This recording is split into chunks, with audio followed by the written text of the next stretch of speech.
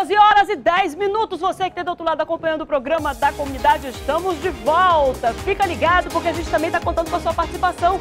3307-3951, 3307-3952. Nosso WhatsApp também está conectado com você que está do outro lado, 99153-7959. Olha só, gente, o diesel mais caro pode contribuir para um novo aumento da tarifa de ônibus de transporte público.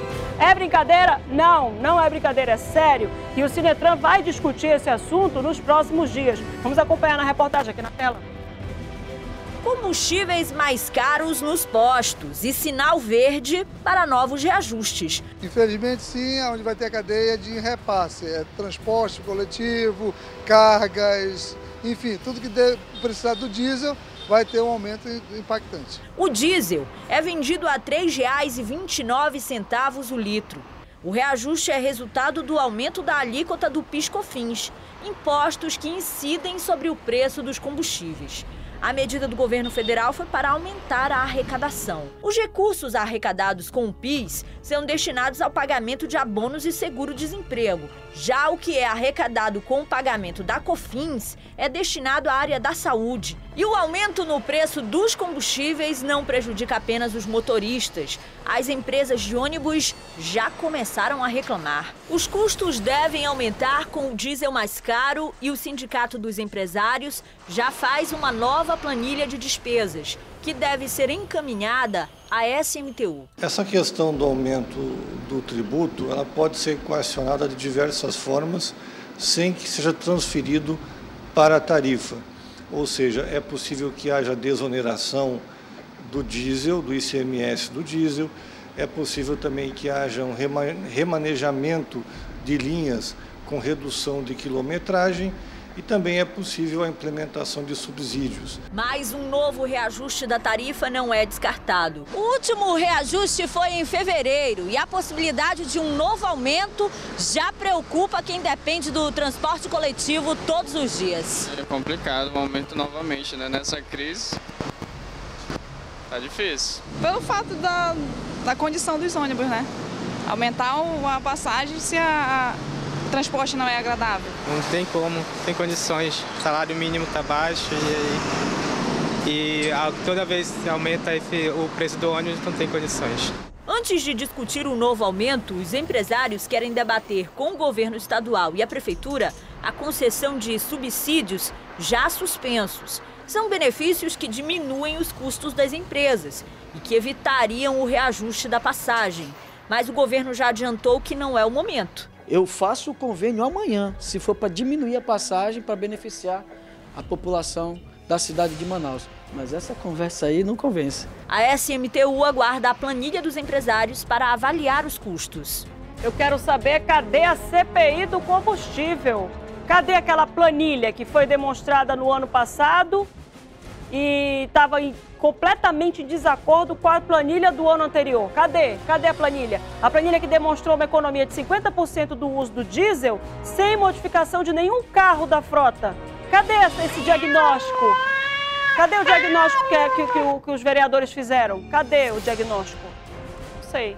Até agora a gente não teve notícia.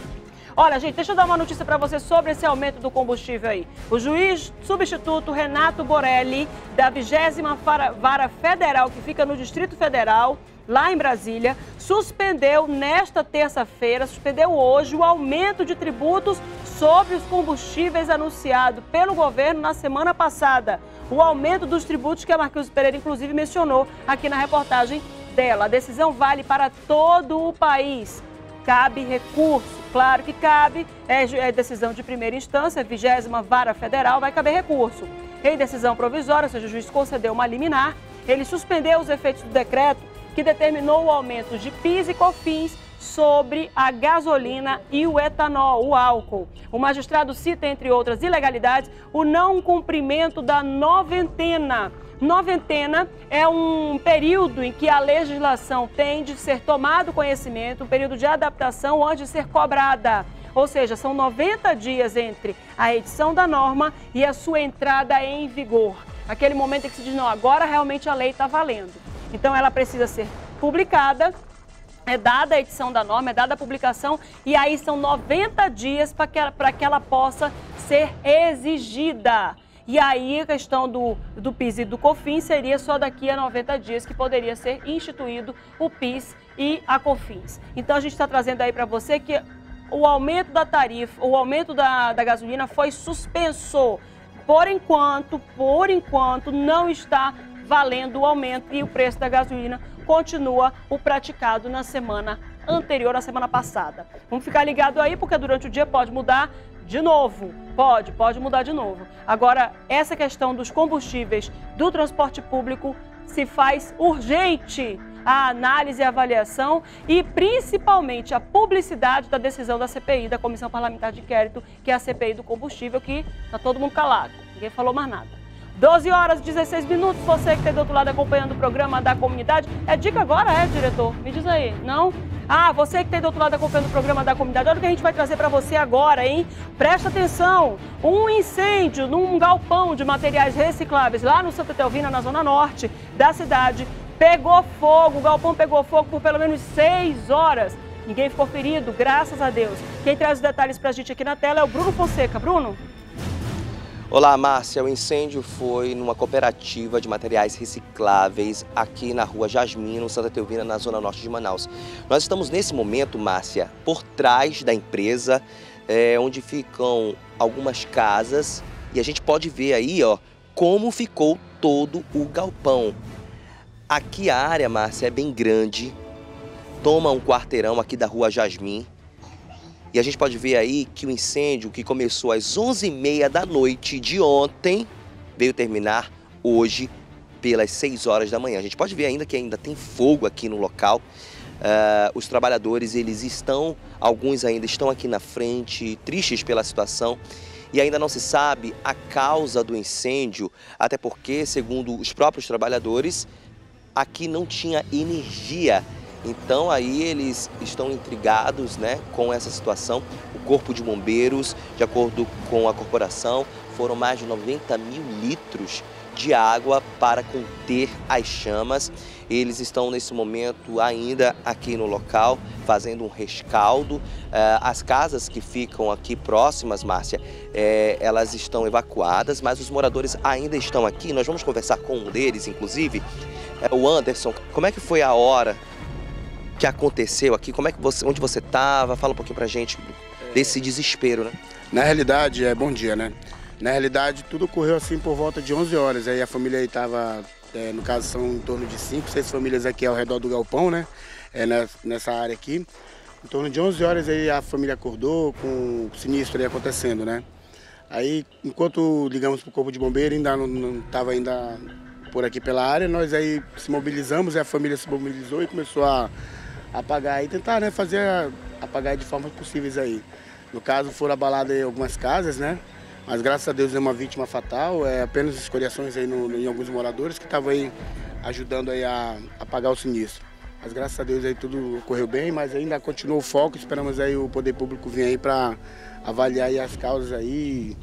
Tudo ocorre aí que possa ter sido aí um, um ato criminoso, né? Porque não tem o porquê de esse galpão pegar fogo pelo tempo já de, de reciclagem é, que eles trabalham aqui, né? No caso, são famílias que trabalham aqui pela área, né? Então, é, a hipótese é essa. Tá certo, muito obrigado, Anderson, que mora aqui próximo dessa empresa. A gente está vendo aí que muitos papéis, garrafas PET, materiais de reciclagem que os trabalhadores faziam aqui, né? A manutenção desses materiais, aí a reciclagem. Eram mais de 30 trabalhadores que acabaram aí perdendo tudo nesse grande incêndio que aconteceu aqui no Santa Etelvina. Márcia, agora a gente vai acompanhar o depoimento dos próprios trabalhadores que estão aí, né, revoltados com essa situação e triste com tudo que aconteceu. Nós recordamos, já, já tinha já estava pegando fogo. Era volta e meia das 10, 10 e meia da noite. Eu moro aí do lado, não me acordei, foi com alvoroço, aí a gente correu para ver, aí já era tarde demais. Foi quando nós ligamos para o bombeiro, o bombeiro custou vir e quando veio não tinha água.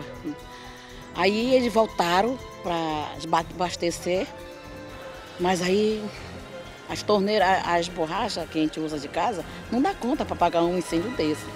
Quando eles vieram, eles tentaram, tentaram tocar, é, molhar as casas para não molhar as paredes para não cair rápido. Mas não tinha mais jeito, já tinha, tocado, já tinha pegado fogo em tudo. A gente está sem saber o que fazer, né? E quem saber procurar. A gente está aqui com a equipe dos bombeiros, a gente estava agora há pouco perguntando né, qual é os, os procedimentos, o que, é que a gente tem que fazer, né, a quem a gente tem que recorrer, porque são famílias né, que agora ficaram desempregadas, né, sem local de trabalho, uma vez que é daqui que a gente tirar nosso sustento. Está assim, esperando agora uma resposta. Né? E assim a gente vai, a gente tem esse diálogo aí com a Prefeitura de Manaus, uma vez que eles, esse galpão é alugado por eles, né, para que nós venha trabalhar. A gente entrou em contato com eles pela madrugada, eles estiveram aqui, os representantes da CEMUS, e agora a gente vai esperar para ver qual é o retorno que eles vão trazer para a gente, né? A gente viu aí, né, Márcio, os trabalhadores falando sobre o sinistro e agora a gente vai conversar com a Dolores, que mora bem atrás da empresa. Dolores, como é que foi aí a hora que, que aconteceu tudo, onde você estava? A gente estava dormindo, que era umas meia-noite, quando a minha irmã começou a alarmar, alarmar. Aí quando nós saímos, o fogo já tinha tomado conta do galpão. Aí a gente saímos para fora, os vizinhos já estavam aqui, aí ajudamos nós, botar todo o nosso material para nossa pouco de casa da nossa casa para fora. Não atingiu nada dentro da sua casa, não? Só rachar a minha casa. Rachou em três partes a minha casa. A gente pode ver? Pode. Vamos, vamos ver aqui? Vamos entrar aqui. O incêndio rachou a casa aqui da Dolores. Você mora quanto tempo aqui já, Dolores? 23 anos. 23 anos morando aqui, ó. Começou aqui, ó. Rachou aqui, essa parte aqui já? Olha aqui, ó. Vamos mostrar aqui, Anderson? Olha aqui, ó. Rachou a casa da moradora. Nós estamos vendo aqui, ó. Aqui também, ó. Ou seja, tá comprometida a casa dessa senhora, aqui, né? Ó. Aqui, ó. Aqui. E a qualquer momento pode acontecer um acidente. Pode acontecer um acidente aqui. Aqui tem criança de dois meses, tem criança bebezinha tá aqui. Mora os meus netos, minhas filhas, tudo nós moramos aqui. E aí nós não tem para onde ir. Eu não vou aqui, que aqui é minha casa. Tá certo. Então, olha só, Márcia, a gente está vendo aí, né, os moradores é, tristes com a situação do fogo ter aí afetado a casa deles e ter comprometido também. Ah, nesse momento, o Corpo de Bombeiros faz um rescaldo e vai aí, né, tentar achar a verdadeira causa do incêndio. Bruno Fonseca, para agora. Obrigada, Bruno Fonseca. Mais uma causa, mais um incêndio de grandes proporções. Agora, gente, olha só. Poder público precisa entrar imediatamente conversar com essas pessoas e tentar atender, porque já é difícil a gente ter uma consciência ambiental de sustentabilidade, já é difícil a gente ter uma consciência ambiental de reciclagem. E aí a gente vê um monte, um monte de cooperativa trabalhando para isso, para deixar nossa cidade mais limpa, ganhar dinheiro com isso. Eles precisam de apoio para que eles não esmureçam e percam essa atividade, porque a gente não perca trabalhadores dessa área. 12 horas e 23 minutos, 12 e 24 agora, viu? Você que está do outro lado acompanhando o programa da comunidade, tá na hora de eu dar aquela dica especial para você que está aí. Vem cá comigo, vem. Olha só, os benefícios do ômega 3 você já conhece. Agora o que você precisa saber é que nem todos os ômegas 3 são iguais. Por isso eu recomendo para você o ômega 3 da Divicon Pharma. Um ômega 3 com qualidade comprovada e produzido com as melhores matérias-primas e dentro de um rígido controle de qualidade. Dá uma olhada aí para você ver. Há um bom tempo eu tomo ômega 3. E como todo mundo, achava que era tudo igual. Até que um amigo me indicou o ômega 3 da Divicon Pharma, dizendo que tinha mais qualidade. Eu tomei e realmente faz a diferença. Os meus exames nunca foram tão bons. O ômega 3 da Divicon Pharma realmente tem mais qualidade. Viu só? O ômega 3 da Divicon Pharma possui a quantidade ideal de ômega que você precisa diariamente. E tem mais, na compra de um frasco como este aqui, você ganha 50% a mais e não paga nada mais por isso. O ômega 3 da Divicon Pharma está à venda em todas as farmácias do Brasil, mas a preços promocionais na rede de drogarias Farmabem. E ao chegar à farmácia, não se deixe enganar. Exija ômega 3 da Divicon Pharma, o verdadeiro ômega 3. 12 horas e 25 minutos. Você que está do outro lado acompanhando o programa da comunidade. Quero mandar um beijo, beijo, beijo, beijo. Põe aqui a foto da Neuci do Rogério para mim. Olha aqui quem está fazendo aniversário hoje. Neuci, parabéns, muitas felicidades. Rogério, meu filho, abre um pouco esse bolso e paga um churrasco no domingo, meu amor. Pare com isso. Pague alguma coisa para seus parentes. Não pode ser desse jeito, não. Ele é cunhado, ele é meu cunhado, irmão do meu marido, Robinho. Rogério, Neuci, Parabéns, Delci e Rogério. O Ivan Nascimento, diretor do programa, dizendo que da próxima vez eu vou fazer uma selfie mais bonita, mais caprichada, tá?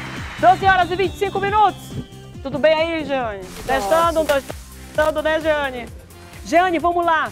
É, vamos falar para quem está no interior do estado e quer revender os produtos da Três Elefantes. Pode? Pode. Basta contactar, pode ser via WhatsApp. O número? É o 3633. Ah, o telefone está falhando. Deixa eu só ver aqui uma coisa. Cadê, cadê o microfone? Deixa eu ver aqui. 3633. Me dá o microfone de mão, gente. Alguém traz o microfone de mão para mim aí. Vanessa, traz logo. Olha, é assim mesmo.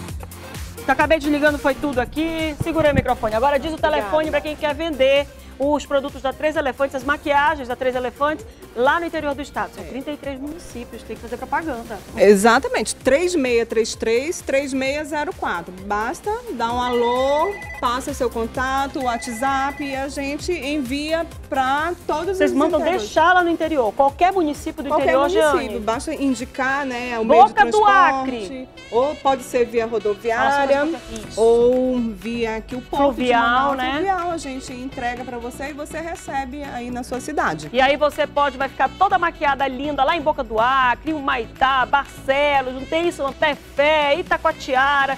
Todo mundo fica muito bem, fica bonito e ainda pode ganhar uma renda extra aí nos municípios do interior. Mas você que é telespectador do programa da comunidade, tá aqui, olha, minha gente.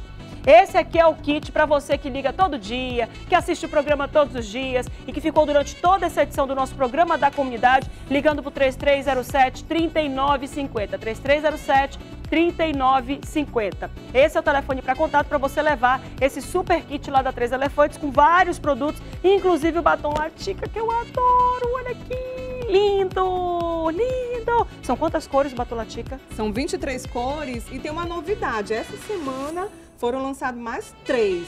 Que é, na próxima semana já vão estar disponível na nossa loja. Mais três cores lindíssimas de batom Latica. Adoro, porque tem uma linha de nudes da, do Latica, do, que é uma delícia, assim. Cores bem, bem clarinhas, assim, que eu acho show de bola. Coloca as imagens lá da Três Elefantes, que fica lá na rua Guilherme Moreira. A gente vai pro intervalo e volta já já. Não sai daí, não.